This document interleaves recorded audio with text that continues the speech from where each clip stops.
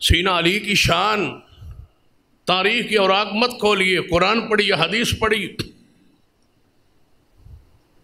हर वो आयत जिसमें कुरान पाक के अंदर अहले ईमान का ज़िक्र है, हर वो आयत जिसमें मोमिन का, मुस्लिमीन का ज़िक्र है, उनकी तारीफ़ और तोसीफ़ का ज़िक्र है, हर उस आयत में हज़रत अली अद खुद दाखिल और शामिल है। क्यों? सबसे पहले ईमान लाने तो वही शख्सियत। सबसे पहले इस्लाम कबूल करने वाली वही शख्सियत। यानी आपका दूसरा नंबर नहीं है, पहला नंबर है। इस्लाम लाने में, इस्लाम कबूल करने में। बाद रवायात में ये कि सबसे पहले ईमान लाने वाले सैन अबू बकर सिद्दीक है। और बाद रवायात में सबसे पहले इस्लाम लाने वाले सैदना अली। रज़ी अल्लाह ताला। तो मुहदसिन कराम ने दोनों रवायात में बड़ी खूबसूरत तथबीक दी है, जोड़ा है। आपस में मुताबकत बयान की है कि बड़ों में सिद्दीक और छोटों में बच्चों में सैदना अली रज़ी अल्लाह ताला।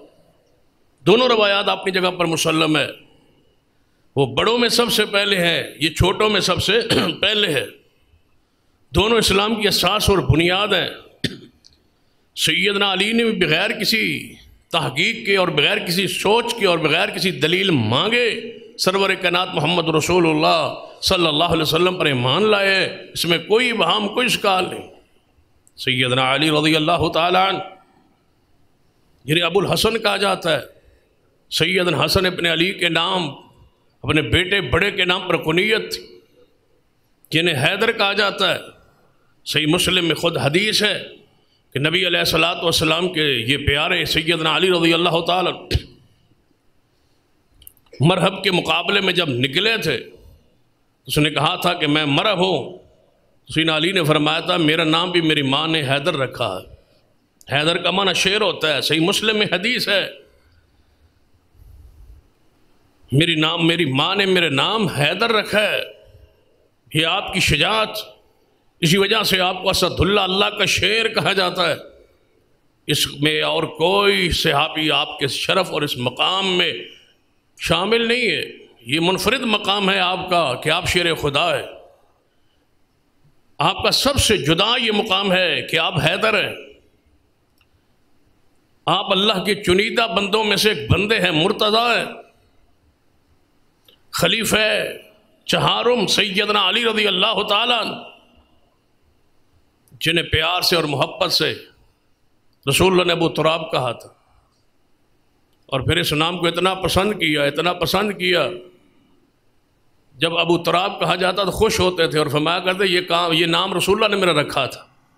आपने मुझे अबू तुराब से कह के पुकारा था कि मेरे वजूद पे मट्टी पड़ी हुई थी रसूल्ला देख के फरमाया अबू तराब, ए मट्टी वाले तो वही नाम पसंद कर लिया जो रसूल वसल्लम ने प्यार से या जलाल में आपको पुकारा, आपने अपने नाम के साथ अपने नाम का हिस्सा बना लिया, क्या अबू तुराब सैदना अली रज़ी अल्लाह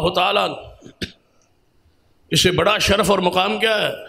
कि आपकी चार बेटियों में जो सबसे लाडली और सबसे प्यारी बेटी सईदा फातमा तो ज़रा है वह आपके हरम में, पाक में, आपके निकाह में, आपकी जवज मोहतरमा है। और इस दर्जा पर भी आपको ये मकाम मुनफरद हासिल है। कि आपकी बीवी सईदा फातमा तो ज़रा जन्नत की सारी औरतों की सरदार हैं और आपके दोनों बेटे नवासे, आप रसूलुल्लाह के, हसन हुसैन जन्नत के नौजवानों के सरदार हैं। और नबी फरमा इनका बाप इनसे भी ऊपर वाले दर्जे पर होगा। तो आप अंदाज़ा करें, हसन हुसैन जन्नत के नौजवानों के सरदार होंगे, फातिमा जन्नत की सारी औरतों की सरदार होंगी, इनसे भी ऊँचे दर्जे पर, इनसे भी आला दर्जे पर, इनसे भी खैर और भलाई पर, ऊँचे दर्जे पर इनका बाप अली रज़ी अल्लाह तन हो। सीना अली को ये मकाम, ये शर्फ हासिल है कि जन्नत में फिर आप जैसा और कौन हो सकता है?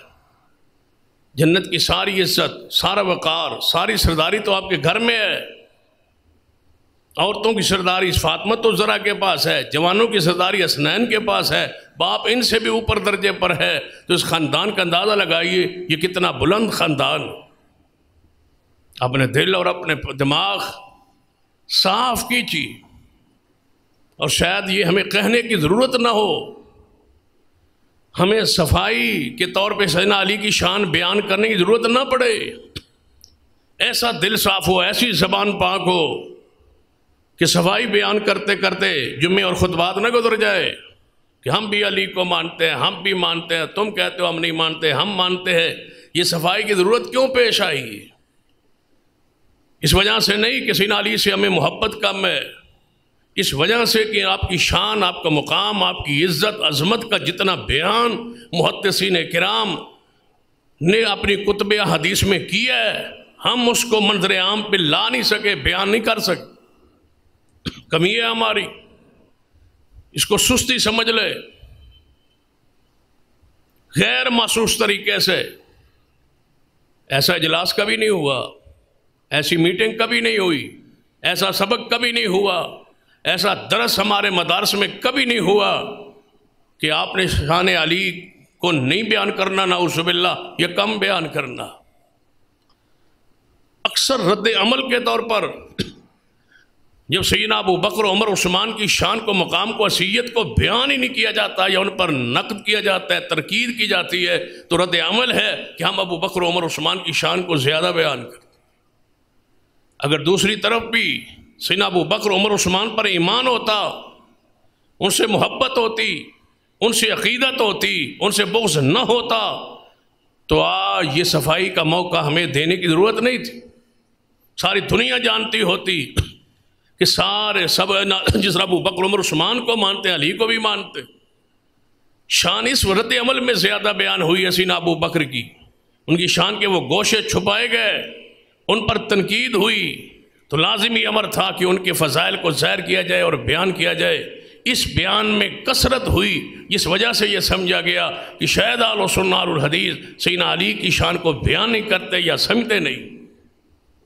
सैना अली के वो मकाम जो कुरान सुन्नत ने मुन की है, वो आलुल हदीस के पास आज भी बतौर अमानत, बतौर ईमान और मोहब्बत मौजूद है। हम उस शान को समझते ही नहीं है, बयान ही नहीं करते वो शान, जो राफसी करते। वो शान नहीं है, वो तो दर्ज उलूहियत है। वो अली की शान नहीं है, वो रब की शान है।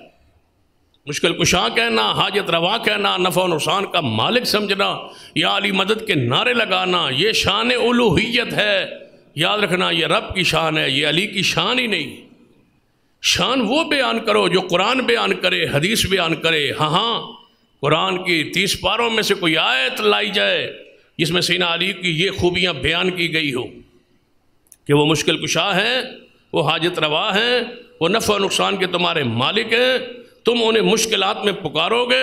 अगर इस तरह कोई आयत या हदीस मौजूद है तो हमारे सामने लाई जाए। अगर ऐसी नहीं है तो फिर माना जाए कि जो तुम शान बयान करते हो, वो शान अली नहीं है। शान अली वो है जो कुरान में है, हदीस में।